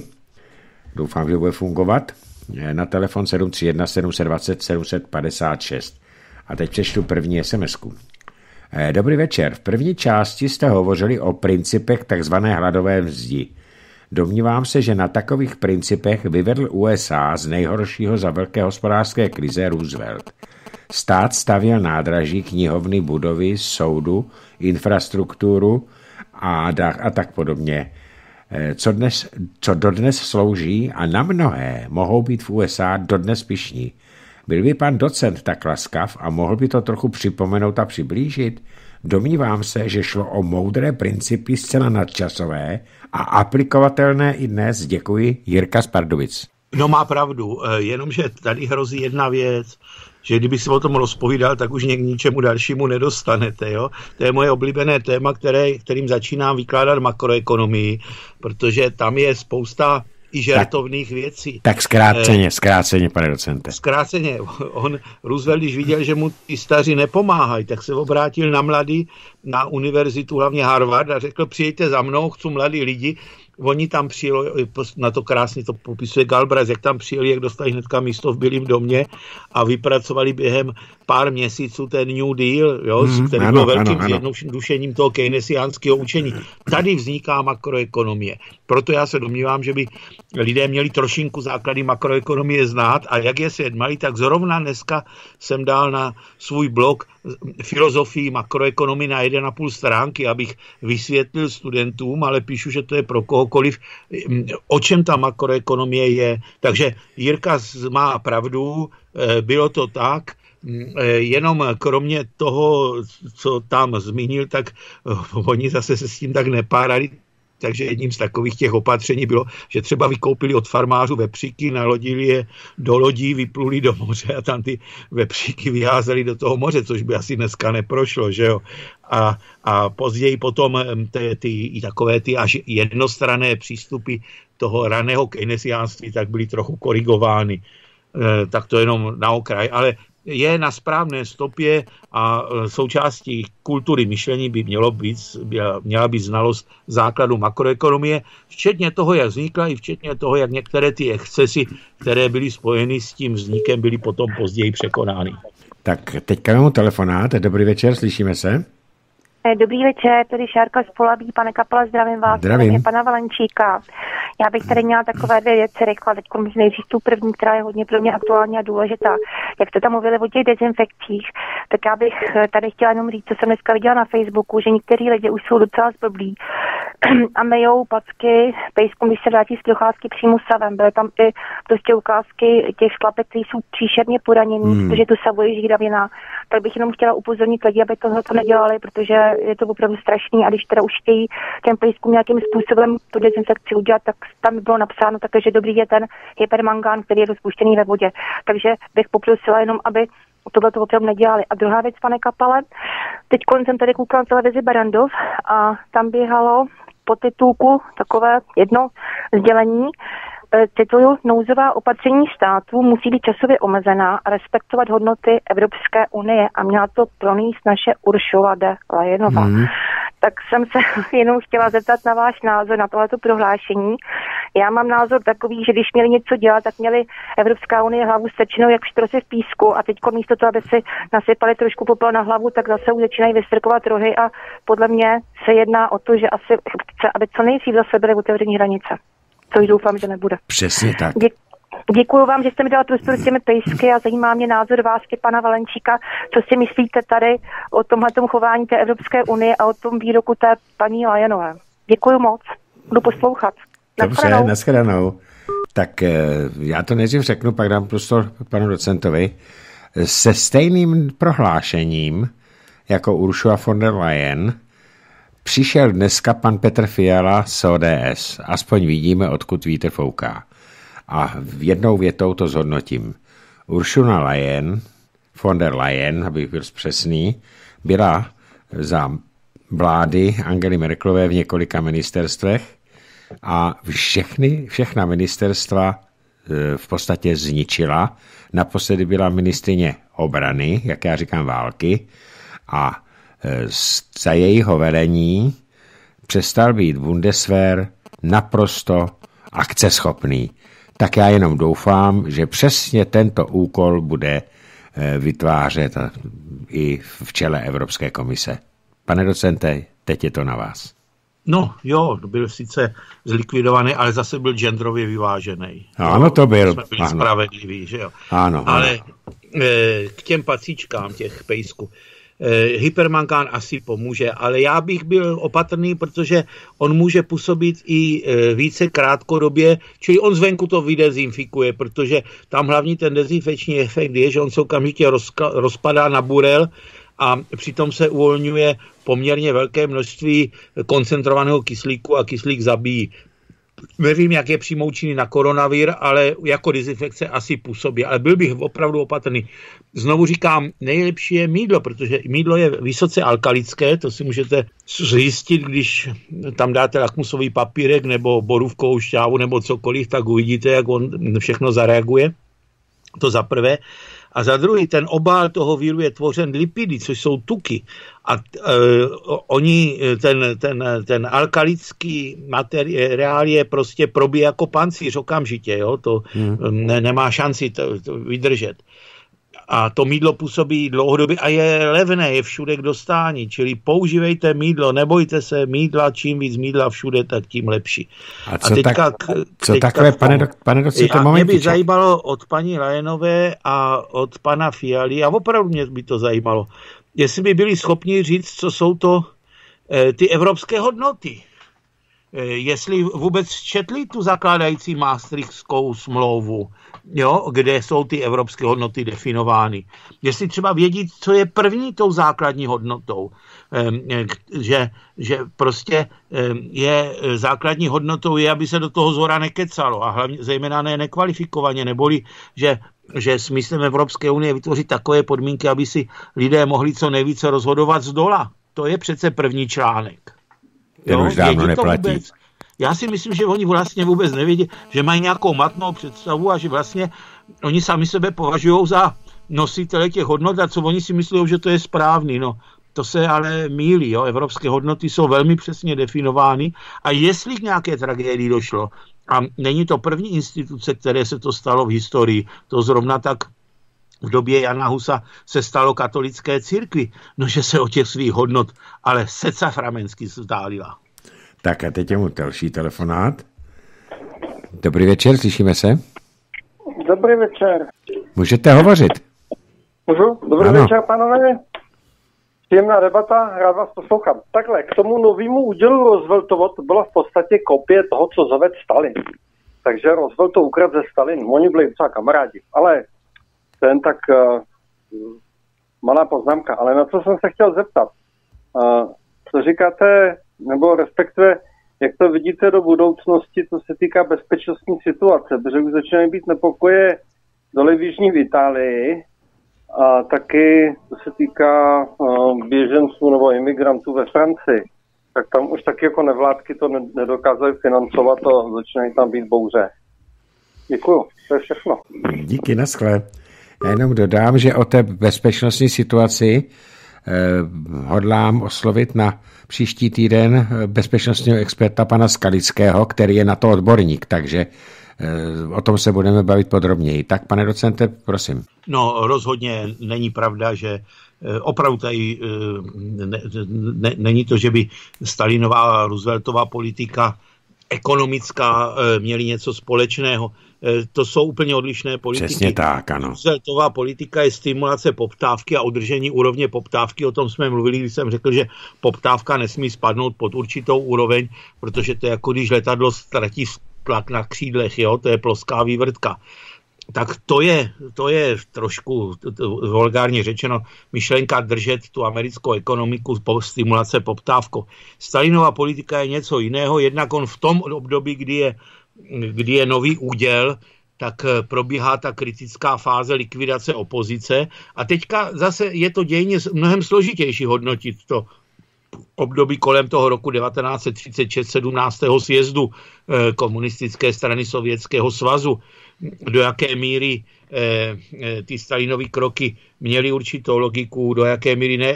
Tady, tady fakt nechci zabřednout a je to podstatně složitější, ale ekonomika byla v té době úplně jiná. Hmm.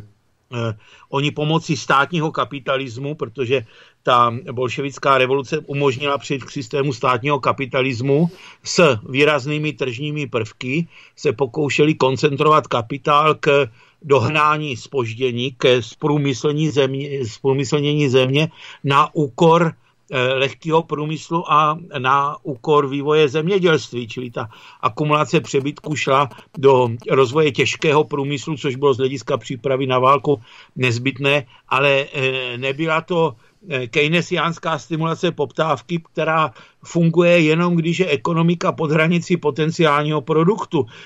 Stalinova ekonomika fungovala prostě na hraně případně zahranou potenciálního produktu s krajním nasazením a s prosazováním v těch strategických směrech direktivní formou. Jo? To jsou úplně jiné ekonomiky. A teď já nehodnotím, která je lepší a která je horší a jestli mohl Stalin něco jiného dělat, když chtěl válku vyhrát.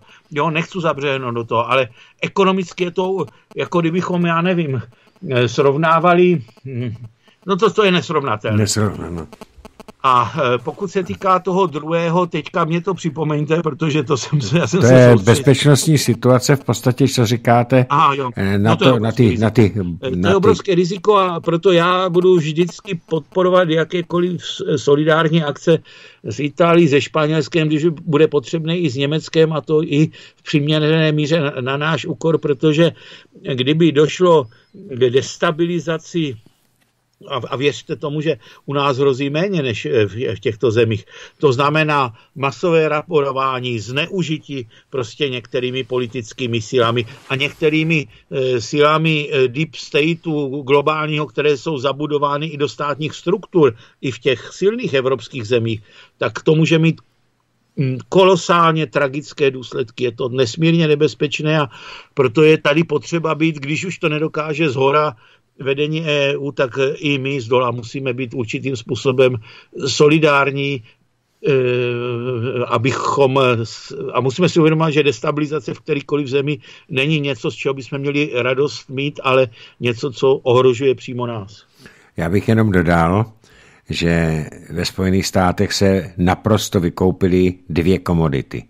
Toaletní papír a zbraně. Nákup zbraní se zvedl o zhruba 200% a o 360% se zvedly, aspoň jsem to tak dočetl, objednávky právě proto, o čem jste hovořil, pane docente, a to je obava Američanů z toho, že díky vzrůstající masivní nezaměstnanosti zavíráním podniků, protože Trump jde cestou České republiky, tak e, tam se obávají ti američané vypuknutí násilí, rabování a přepadávání. Takže není tam toaletní papír a jsou vykoupeny zbraně. Takže to hrozí teď té třeba v Itálii, kde dochází lidem peníze, to hrozí v částech eh, Německa a eh, mám takový dojem, že jsem něco četl takového podobného i o Francii. Takže ano, eh, tohoto je potřeba se obávat, protože bych se, hm, bychom to onesli i my. Tak. A teďka další otázku. Zdravím do studia, velmi zajímavé. Měla by vláda v této době také šetřit na výdajích, jak to navrhuje SPD, například zahraniční mise vojáků, platby politickým neziskovkám a tak dále. Myslíte si, pane docente, že k tomu bude mít vláda odvahu a vůli? Děkuji za odpověď a moc zajímavé povídání. Hana z Jižních Čech. No, eh, eh, samozřejmě já, já už jsem řekl, že eh, tam není o to, kde ušetříme peníze. Kde je vzít, to je jasné, když budeme chtít udržet eh, makroekonomickou stabilitu. Prostě monetizací veřejného dluhu a tam musíme najít tu cestičku, ať nám k ní budou házet všichni klacky ti silnější, jak budou chtít. Oni sami svůj dluh monetizují, nám to neumožňují. Ne, mm. my si musíme prosadit právo na spravedlivý podíl financovat ekonomiku tímhle způsobem. My bychom i ty ziskovky mohli konec konců odfinancovat taky, ale já bych se spíš podíval, když jsem mluvil o tom, že koronavir vybarvuje charaktery, tak on vybarvuje i funkčnost neziskovek. Podíval bych se, jak se který stali funkčními v této situaci. Je to dobrý test neziskovek a myslím si, že podle toho by měla vláda postupovat do budoucna. Jo, to bych viděl spíš tady v této rovině. Pokud se týká zahraničních misí, já nemám rád, když bychom někam zasahovali. Já jsem to dítě 68. Já jsem tehdy začal brát rozum. Mně bylo tehdy 15 a čtvrt roku zhruba, když došlo ke vstupu vojsk. Mně se to hrubě nelíbilo. Do dneška si myslím, že to byla hrubá chyba. E, naštěstí se mě na to nikdo nikdy neptal tehdy. Asi bych s tím měl mít. Asi bych s tím měl tehdy problémy. Ale e, e, mně se e, taky hrubě nelíbilo, že, že, že, že, že sovětský svaz tehdy donutil e, Maďarsko, Polsko, východní Německo a Bulharsko, aby k nám šli, aby, aby měli komplice, to bylo vel, velmi pokrytecky. Jediný, kdo to odmítl tehdy z členů Varšavské smlouvy, byl Čaušesku, Rumunsko, taky to Čaušesku potom odnesl tuto nelojalitu. Jo, ano, a my, my, některé ty mise mají obdobu toho, co udělal tehdy Sovětský svaz a našel si komplice a donutil nás být, být komplicemi.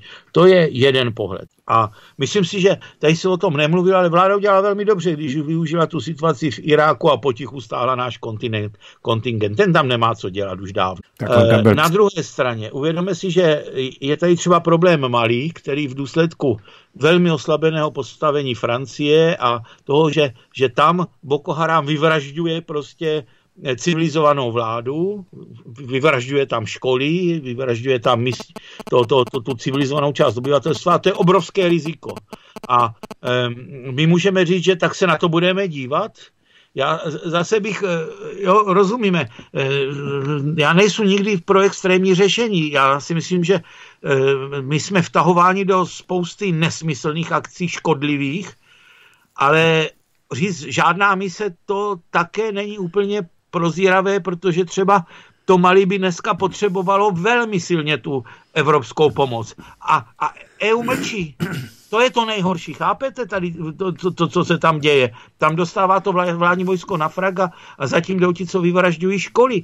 Vždyť sám název Boko Haram je přece o sobě perverzní. Je to jedna z nejmilitantnějších eh, náboženských sekt odvozených od islámu. Není islám jako islám, ale toto je ta jedna z nejnebezpečnějších. Tak ono to tam, pane docente, v tom Mali je trochu, v té Mali, eh, to o ničem jiném, 99%, téměř 100% pro 100% vydobývání nebo dobývání, dobývání uranu, tam kontroluje, kontrolují francouzské, francouzské banky, protože ten uran potřebují pro své jaderné elektrárny. Proto tam taky oni vůbec nehlídají nebo nepomáhají těm křesťanským vesnicím, které jsou tam zásadně tím Boko Haram vybíjeny celé, vypalovány zaživa, ale hlídají si jenom oblasti, eh, kde se těží uran. A to ještě k tomu, jo? A to, to jenom dokresluje to pokrytectví ano, toho vedení Evropské unie. A, e, ale tam ty mise, které hlídali ty křesťanské i města, tak byly podle mě svým způsobem oprávněny. Já si myslím, že byla velmi pozitivní i ta mise na naší policie v, v Kosovu. V, v Kosovu ano, jo? Ano, ano, v Kosovu. Protože tam podstatnou část toho obyvatelstva, oni tam hráli roli velmi poctivého soudce těch dvou stran. Oni se to snažili smířit, oni přispěli k tomu, že vůbec jsou schopni ti Srbové a Albánci kosovští spolu aspoň částečně žít a tam se hrála ta naše policie tehdy obrovsky pozitivní roli a zasloužila by pochvalu. Čili není mise jako mise, jo? A to neříkám, jestli bylo uznání Kosova rozumným, jo? To, to je složitější a jestli tam ten vývoj nemůže vyústit něco mnohem tragičtějšího, než se tam do posud odehrálo. Ale tam třeba ta policie se hrála velmi pozitivní roli. Tak jdeme dál na další otázku. Dobrý večer, pánové. Otázka. Tušíte, proč se paní Šilerová radila s pánkem ohledně financí? Děkuji, Vojta se Šimonem Pánkem, eh, šéfem Člověka v plísni? Asi ano. Tak eh, o tom já jsem vůbec nevěděl, že by se paní Šilerová radila s Pánkem. to, je to, ten, eh, to je ten kubánský, cest, kubánský cestovatel? Ne, já nevím, myslím, že ano, je to předseda neziskovky Člověk v plísni, nebo v tísni. Tam pro něho musel jít Pithard, myslím. Ano, ano, s Filipem tam tenkrát jeli. No jo. Ne, s Pilipem tam měl pánek a ten potom pro ně jel, že jo, jestli se nepletu. Dokonce se bavil s Fidelem Castro, který ho zkoušel z českých dějin a zjistil tam zásadní neznalosti, takže musel Fidel Castro konstatovat, že od autora, který napsal nebo byl spoluautorem Podívena, tak taková hrubá neznalost českého obrození, že je opravdu s podivem, řekl tehdy Fidel Castro. Tak to jako, nevím zase. Tím setkáním, no to zase vím já. E, no jo, no tak... Ale že by se řadila širou, já o tom nevím teda. Já jsem to nikdy nečetl, ale nevím o tom. Samozřejmě, že pánek reprezentuje e, tu, tu cizí moc, to hmm. není člověk, který by se choval v souladu s ze zájmy naší země, možná, že přece jenom je v něm kus ještě toho zůstalo a že přes jeho inside informace sonduje paní Šilerová, co si může dovolit a co ne. Možná, že potřeboval zase jí předat nějaké instrukce, co může a co nemůže zhora, teda Asi. mimo hmm. naší země. Já jsem u toho nebyl, já mu toho nesvítil. Já to taky nevěděl. Tak, máme tady další telefonát. Dobrý večer, slyšíme se? Dobrý večer, slyšíme se, vážený pane Kapale, zdravím pana váženého docenta Valenčíka, dobrý večer, vážení. Uh, já chci jenom poděkovat za zase za krásný pohled jakoby té ekonomické situace, co nás bude do budoucna čekat. A já jako humanista teda po vzoru těch humanistů bych doporučil Německu si na 14 dní pořídit indickou hlíd policejní do ulic s těma klaskama v ruce a, a bylo by vyléčené celé Německo. Eh, Děkuji moc za nádherný večer a přeju krásnou dobrou noc. Eh, ano, já jenom dodám pro naše posluchače, který to nevědí, že indická policie se vůbec s těmi kapesními zloději, třeba v Indii, anebo s těmi, co naruší veřejný pořádek, nepárá, mají bambusové tyče a takového zloděje chytnou a hned na místě ho seřežou těmi bambusovými holemi, takže ho to na příště přejde. Takže já si myslím, že těch indických policistů by v tom Německu bylo zapotřebí asi víc. Co říkáte, pane docente? No, německá policie, když chce, tak umí zasáhnout lépe než ta indická. No, jenomže když chce a smí. Tam hm, já těžko odhadnu vývoj v Německu. Já Německu opravdu fandím už protože že to je země, kterou já třeba turisticky navštěvuji jako jednu z nejradší, nej, nejraději. Já mám hrozně rád německý města, mám rád německý obyvatelstvo, mám rád německý hospody, kde si rád popovídám. Jo? Takže já jim přeju všechno nejlepší, aby to zvládli. Uvidíme, jak to dopadne. Tady mám další dotaz. Ježíš teď se mi to ztratilo. Tak, za komunistů se říkalo, že komunisti neberou všechny, protože i oni mají svou hrdost, teda jako komunisti. Na hlídacím psu a dalších trolech je vidět, že sluníčková strana žádnou hrdost nemá. Co na to říkáte, píše eh, Lubomír Ajmut. No, eh, on, já, já si myslím, že oni mají dobrou technologii, technologii výběru těch lidí, kteří e, vylezou potom žebříku na půdu a odhodí žebřík, neboli dospějou k určité názorové konstrukci a pak už nejsou schopni přijímat jiné argumenty, zapouzdří se a začnou sloužit té politice dvojího metru, hmm. ze které se ovšem fatálně blbne ve, středně časo, ve středním časovém horizontu. Je to něco podobného, jak jsem zjistil u některých lidí, kteří e, propadli islámu, Eh, islám, já znám spoustu nesmírně kulturních lidí, kteří jsou, věří také, jako jsou, patří k tomu náboženství islámu, ale jsou to kulturní lidé a, a ti, už se nikdy nezapouzdří.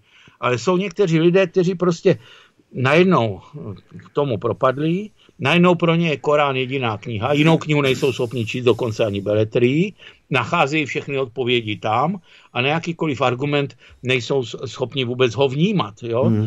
A to je strašně nebezpečí pro člověka. A e, tady tyhle ty e, struktury si vybírají právě e, ty osoby, které se prostě zapoudří a nejsou schopni zvažovat. Tak máme jeden pohled, druhý pohled, který je pravdivý a v kterých podmínkách je jeden a druhý. Pozne se na to, pozne se na to i emocionálně, jo, i z hlediska historické zkušenosti, podívat se, jestli tam není něco nového to, je, to, to by patřilo ke kultuře toho našeho evropského myšlení. To bych viděl jako tu základní evropskou hodnotu, ale bohužel někteří si pod základními evropskými hodnotami představují to, že e, budeš prosazovat politiku dvojího metru, protože to, co je správný, jak říká ten major Mazurka v té filmové verzi, mm, mm. v té filmové verzi Černých bajorů, a tak je to správné. Tak to má být. Jo. Tak vezmeme telefonát. Dobrý večer, slyšíme se?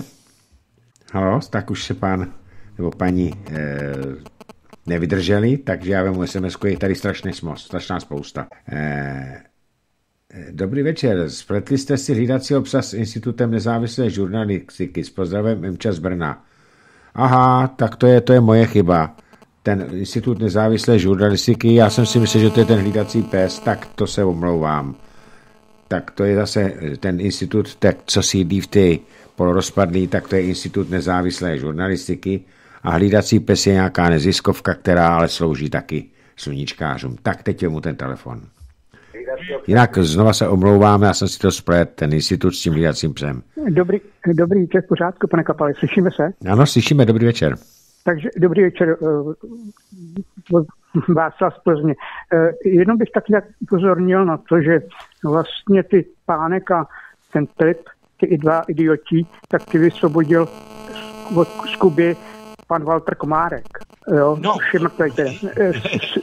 Ten je tenkrát z toho, tam odsaď dostal, protože on byl tenkrát tvůrcem nějakého toho té ekonomické pomoci a takový. No, ano, ano, ano, on tam byl dlouho. Jedna věc. A, ale mám takový dotaz na vás dva. Prosím vás, vidíte nějaký rozdíl mezi kriplem uh, tím Kalouskem, kterýho policie nesoudí a, proti, a paní Maříkovou z SPD, kterou chtějí vydat a soudit. Děkuji, nashledanou. Nashledanou. Tak, pane docente, nejdřív No to jsou ty dvojí hodnoty, to je ten dvojí metr přece, ale to už víme eh, z řady jiných kaus, že jednoho eh, by pomalu stáhli z kůže a druhý si může dovolit, co chce. Tak funguje právě ta moc, která je vázána na, na, na tu současnou globální moc, na ten americký deep state, kdy já říkám, že to je ten, ta nejperverznější forma toho deep stateu, to je to jádro současné globální moci, které se dneska zviditelňuje a kdo, kdo umí číst, tak ho vidí. Ale pokud se týká toho, tak ne, ne, ne, nemá pán pravdu.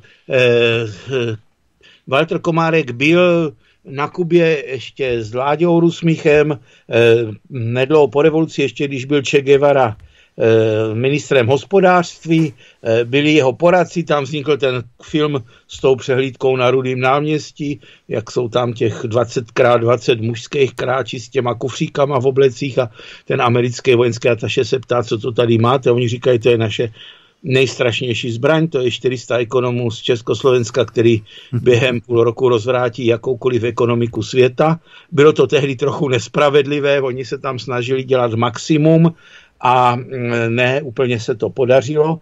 A Komárek měl vždycky dobré vztahy s Kubou. E, já ho znám jako velmi slušného člověka, který se uměl učit ze svých zkušeností a měl jsem ho i osobně velmi rád a se hrá spíše pozitivní roli. Ti, co pomlouvají prognostický ústav, tak neví, o čem mluví, protože bylo potřeba řešit ty problémy přechodu k k, jo, ten eh, systém byl neudržitelný a ti, co ho reprezentovali, už teprve ne, to je něco jako Evropská unie, když to přeženu, jo, prostě tam s tím bylo potřeba něco dělat a Walter Komárek sehrál v tom prognostiáku je, je tu roli toho, toho opravdu přechodu s nejmenšími náklady, jak, jak bych tak řekl. Ale tehdy, kdo tam jel jednat a byla to podmínka Fidela Castra tehdy, který byl ještě v plné síle, tak byl, tak byl eh, Pithard, který tam osobně pro ty dva rošťáky přijel. Já jsem taky neviděl, že by tam měl Walter Komárek, nepamatuju si na to. Eh, vím o Pithartovi. Tak jdeme na další dotaz. Eh, teďka zase na řadě sms -ka. Vážený pane Kapele, jaký máte názor vy a váš host na soustavné tvrzení vládních činitelů, že naše zdravotnictví a tak dále má dostatek zdravotnického materiálu, tedy roušky, obleku, brýle a tak dále – Vždyť od složek integrovaného záchranného systému slyšíme pravý opak. Děkuji za odpověď, posluchač David Hummelhans. Tak eh, nejdřív vy, pane docente, co na to říkáte? A já si myslím, že to je, to je otázka spíše míry kvality, než eh, míry eh, dneska nějaký plný insuficience, nedostatečnosti. To, že se všechny domácnosti vybavily rouškami různé kvality, ale já jsem řekl i ta nejméně kvalitní růžka, i pionýrský šátek přetažený přes ksich, nebo jak jsme to viděli v tom filmu mm, slavným Smrt v sedle, jestli si pamatujete, ano. s Ondou Jelínkem. Ano, tehdy, ano, tak ty šátky, no tak chrání, oni to rozptýlí, oni to laminární proudění převedou v turbulentní, zachytají 60% těch největších kapenek, zbytek stejně pokcípá tím letem ve vzduchu. E, takže e, my jsme pro tu potřebu široce mezi obyvatelstvem vybaveni Sami jsme se vybavili, jak někdo říkal, ať šije celá Česká republika, že jo, to jsme nějakým způsobem zvládli neuvěřitelně, jo, já jsem na to dokonce hrdej. Teďka uh, alokujeme ty prostředky citlivější, MP2, MP3 a teď ono se to ještě liší kvalitou, aby to měli opravdu ti, co jsou nasazeni. Nehůř jsou stejně na tom ty prodavačky v těch supermarketech, kterým fakt nezávidím, jo. A, ale nějak tady tohle prostě zvládáme. Teď je potřeba rukavice, vykašlete se na rukavice, namídlete si ruce mídlem a nechejte tam tu vrstvu mídla, když je nejhůř. A potom jsou to ty obleky, no to už je případ tam, kde přicházím opravdu několikrát za den s několika nakaženými. Eh, tady nejsou odborník, ale my jsme to diskutovali jako s lidmi, kteří tomu více či méně rozumí. Eh, ta, ta, ta, ten vyšší výskot smrtnosti těch lékařů je, on totiž, když se dostane jeden, ten vír nějak pronikne a teď tam začne redit, ten organismus ho většinou zlikviduje. Tam je problém, když těch vírů je více a jsou mírně odlišní. Oni neustále malinko mutují a, a oni zmatou ten obraný systém. Čili když tam dostane těch více nákaz, tak tam to může mít potom fatální průběh. Jo? A to jsou už takové citlivější věci. Eh, pokud se týká ještě jedné věci, teda, která, která se na toto váže a kterou jsem chtěl říct a chtěl jsem na ní nezapomenout, tak doufám, že na ní ne, teď, eh, teď ji můžu zmínit. Eh, mě překvapuje jedna věc. Teď, když už máme ten virus trošinku lokalizovaný, když jsme zabránili tomu exponenciálnímu šíření, když jsme to zlomili na v podstatě konstantní přírůstky plus minus, to je obrovský úspěch, to si málo kdo uvědomuje, nechci to zakřiknout, tak teď by bylo výborné nasadit plošnou dezinfekci, lokalizovanou plošnou dezinfekci, ale opravdu projet těmi ulicemi a, e, a e, vytvořit pásma, přes který se ten vír nedostane kontaktně, protože, jak správně říkal Primula ještě, když dělal tu funkci předtím, tak e, největší nebezpečí je teďka kontaktní šíření a kontaktní šíření se dá řešit dezinfekcí.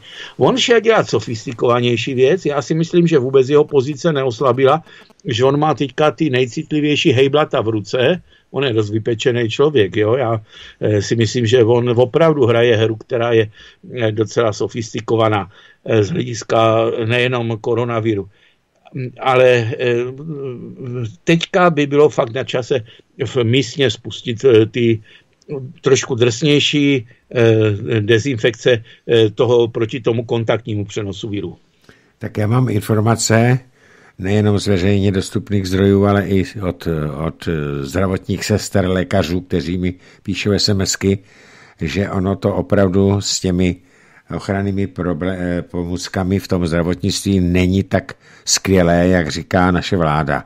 Ta to říká proto, aby nešířila paniku, protože kdyby přiznali, že to zvládají s nejvyššími obtížemi, to zásobování těho integrovaného záchranného systému, tak eh, by to bylo jenom eh, voda na mlín těm, kdo tu paniku záměrně šíří. Ale... Ale zase je potřeba vidět, jo, kde je ten problém. Eh, prostě tady chodí lidé, já je potkávám eh, s MP3, a oni si je ukradli v nemocnici, teda respektive jejich známý jim je dál. Hmm. Ona se nedostala k tomu, kam se měla dostat. To je ale dostala otázka. se jich známému. To je ten problém. A to, to těžko můžeme obvinovat eh, to nejvyšší vedení, když ta distribuce potom vázne přímo v té nemocnici, tam, kde kupovali nůžky za 600 korun, přestože je mohli koupit za, za, za 50 korun nebo za 30 korun v masovém nákupu přes internet. Tam se dějou ty průsery, na úrovni tady téhle. To si musí ale ohlídat ti doktoři v nemocnicích, ti, kteří jsou ohroženi. Podívat se, jak se lidi vybarvují někteří pod vlivem koronaviru, jo, aby bylo jasný. E, tam, je ta, tam, se, tam jsou ti vychcánci, co na tom co už teďka vydělat a bezohledně a na úkor druhých. Tak já jenom k tomu dodám, že co se týče vybavení toho eh, prvního, to integrovaného záchranného systému, tak o tom se budu bavit s odborníkem, s člověkem, který je v první linii toho boje, eh, s doktorem Markem Obertelem ve čtvrtek. Jo, je to nejenom eh, velitel Národní domobrany, ale zároveň je to i lékař záchranné služby, která přichází, ona to je, která jezdí na ty nemocné koronavirem nebo COVID-19 a já se o tomhle tom s ním budu ve čtvrtek bavit, takže to budeme mít ty informace přímo od člověka z první linie tohoto boje. Na to se těším, rád si to poslechnu a Marka mám hrozně rád, považuji ho za jednoho z nejslušnějších lidí v naší zemi. Já taky. Je to stejný, pane docente. Tak, Máme 21. hodinu, takže já mu poslední telefonát a omlouvám se předem všem, na které se nedostalo, ale eh, bylo vás taková spousta, že bychom tady seděli tak do půlnoci. Takže prosím, slyšíme se? Dobrý večer, pane Kapale, tady Otoman Zlínský. Zdravím. Vás i pana Valenčíka. Nemám žádný dotaz, jenom jsem chtěl poděkovat panu Valenčíkovi a doufám, že poslouchá co největší počet posluchačů, protože pan Valenčík vysvětlil podstatnost a opostatněnost roušek takovým způsobem, že by to pochopili i děti v mateřské školce. Je to vynikající protože spousta lidí se pišní tady selským rozumem na alternativě a přitom stačí terminus technicus, který nikdo nespochybňuje, kapenková infekce a když se na tím každý zamyslí, tak řekne že v podstatě, že ten virus bez té kapenky nemůže, to je vlastně jeho nosič. Jo, to je, mm, takže asi tak, takže výborné. A jenom jsem chtěl panu Valenčíkovi ještě říct, doufám, že je opravdu vlastenec a tím pádem, že ho nikdy neuslyším na svobodném vysílači, protože přesně na svobodném vysílači takovéto dezinformace a spochybnění o podstatnosti roušek zaznívají, protože správný vlastenec na svobodném vysílači nikdy nevystoupí, protože to je žvanírna. Takže děkuju za prostor a přeji hodně zdaru. Naschledanou. Naschledanou a já jenom dodám, jestli nás ještě posloucháte, pane ano. Otomane, že poslechovost byla opravdu fantastická. Na pana Super, docenta Valenčíka. No tak mě už pan Valenčík, eh, asi ho poslouchám po čtvrté a všechna čest, už mě asi tak, taky dvakrát nějak nebyl překvapil, ale si myslím, že kdyby to bylo víc prostoru, tak si to vyříkáme. Ano, ano, jistě, určitě. Je jasné, že asi tak, pohodě. Vynikající pozady. Mějte se, dobrou noc. Dobrou noc. Takže slyšel se to, pane docente? Pokud jste vlastenec, nevystupujte na svobodné vysílači, říká pan Zlínský. Ono to totiž působí kontraproduktivně. Oni tam přesně jdou opačným směrem, než jdeme my tady ve svobodném rádiu. Tak. Já si myslím, že jsme si povídali docela zajímavě a e, takže vám děkuji za váš čas. Já jsem byl rád, že jsem využil e, vašeho, e, vaší přestávky ve škole a jenom se chci zeptat jedno zaprvé upozornění. Já jsem vás zval i s vaší manželkou na 9. května na Velkou dobrou, tak se to musí zrušit právě kvůli tomu, co se děje.